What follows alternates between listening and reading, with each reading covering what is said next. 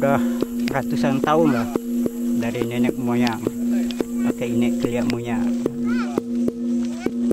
Kita ke Buma itu belajar tentu area ke inek kita sudah dari keturunan. Buma itu berarti kita itu ke hidup ke hidup.